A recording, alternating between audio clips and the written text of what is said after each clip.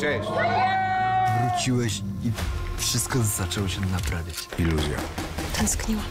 Po prostu myślałem, że zasługujesz na kogoś lepszego niż ja. Musimy pogadać. Ja muszę w tym mowie ściemniać, że jesteś królem kiboli. Myślę, że ona naprawdę mogła odrzucić Majkę z dachu. I to ona może mieć laptopa Majki. Nowy codzienny serial od poniedziałku do piątku o 18.25 w TVN.